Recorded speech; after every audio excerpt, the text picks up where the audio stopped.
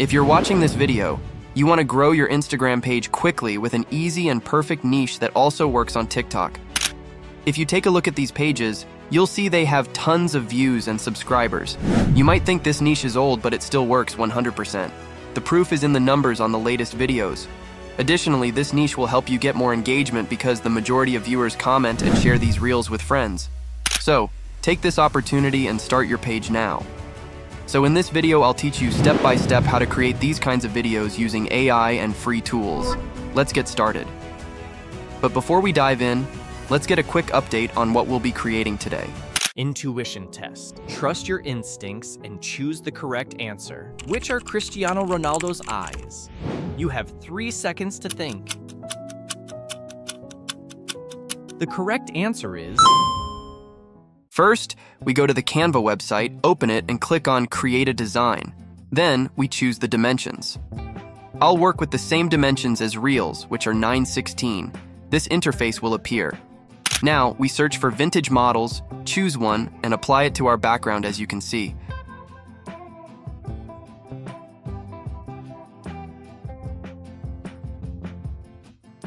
After this, we choose each sticker and add a simple animation. You can add the flow animation or drift, for example.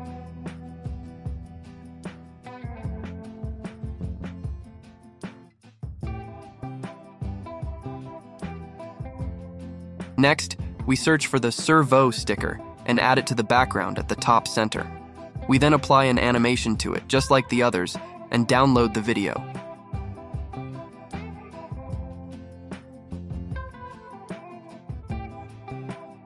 Next, we go to Notepad. You will find a prompt in the description. Copy it and ask ChatGPT to rewrite it. You can also ask it to add multiple questions. However, I will just use the original prompt.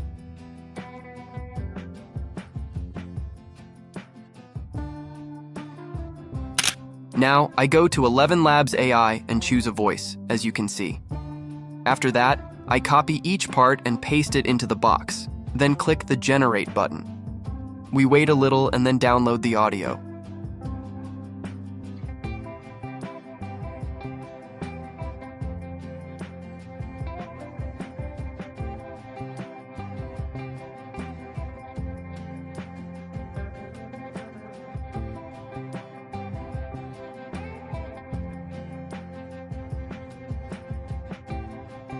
After this, we go to Google and search for the images we want to use in the editing part.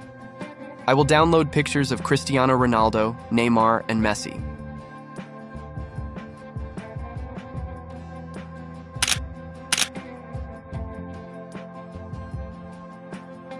Then, we go directly to the Pixabay site, search for a background song, choose one, and download it. Just make sure to check the copyright rules before downloading.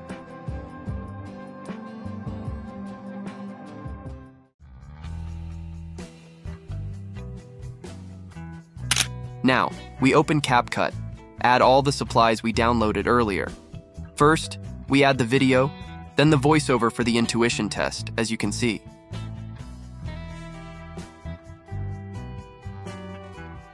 Next, we add the other audio about trusting your instincts and choosing the correct answer, along with another question. Finally, we cut a part of the video, copy it, and paste it to extend the background video like this.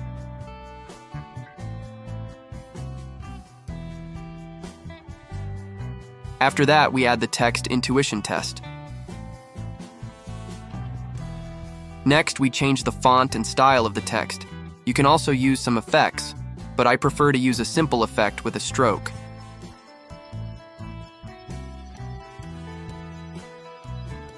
Then we add a simple animation like this and change the position of the text.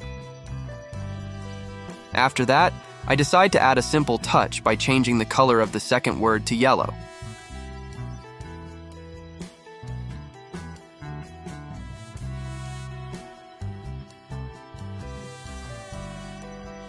Now, we add a simple sticker.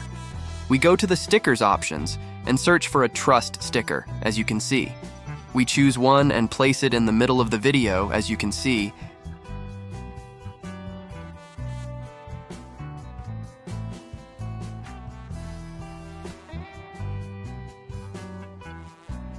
and also add a loop animation like that. After that,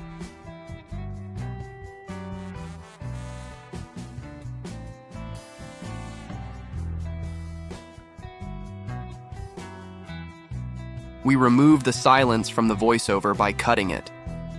Now it's time to add the second text, so we add a text question like this. We change its font, add a simple animation, and adjust the style, as you can see. To make the question look good, we divide it into two parts, as you can see, and enlarge it, like this.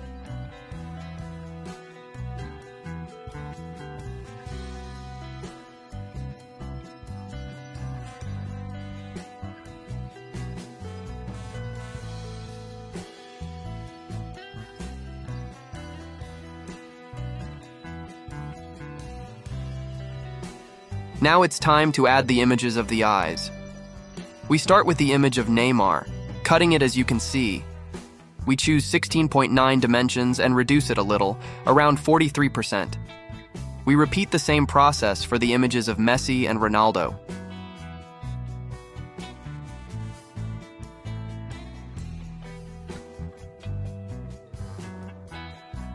After finishing, we go on to cut the images to the desired duration then add a slide up animation to each image.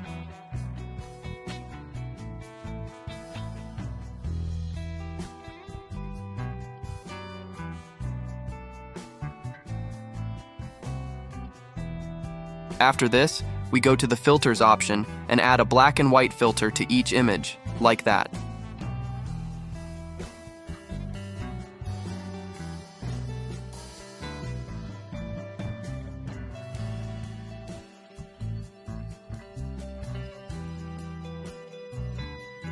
Next, we go to the stickers options and search for a clock sticker.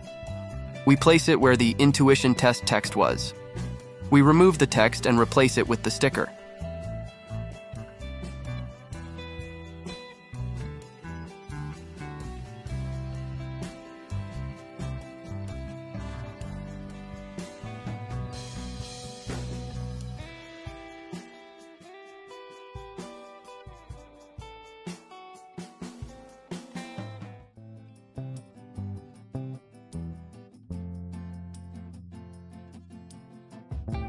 After three seconds, we try to revert all the changes to their original state by copying the background video and extending the image durations, as you can see. Then, we add back the text we removed earlier.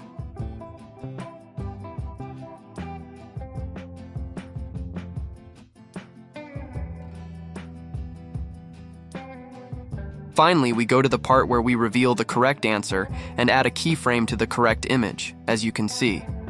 We move forward a bit and add a second keyframe, where we enlarge the size of the image like this.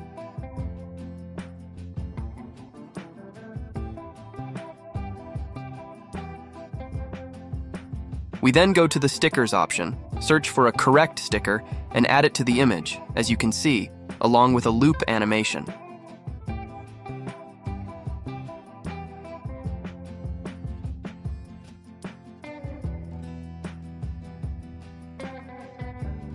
Now we go to the audio option and search for the sound effects we need.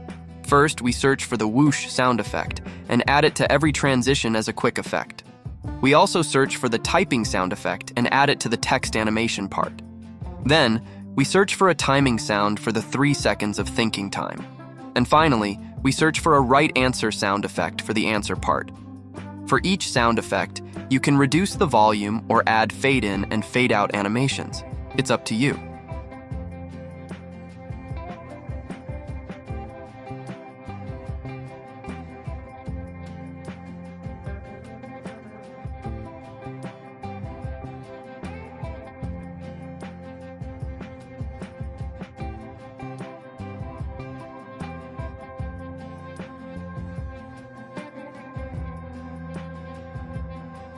Next, we add the song we downloaded as background music, then cut it and reduce its volume slightly so it doesn't overpower the narrator. We also add fade in and fade out effects to it. Now that we're finished, to make the process easier for future questions, you just need to change the images and stickers by right clicking like this, And for the vocals, just delete them while keeping the sound effects. For the thumbnail, you just click on Edit like this, and this interface will appear. Then, replace the image from the video like that. We will choose this one, then click on the Save button. Now, we'll add numbers to each image. For example, 1 for the first image, 2 for the second, and so on. After adding the numbers, we edit them by adding a stroke, adjusting the style, etc.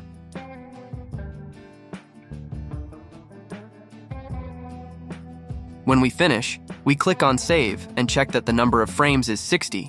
Then we export our video. So guys, we'll meet in a new video soon. Bye bye, love you all.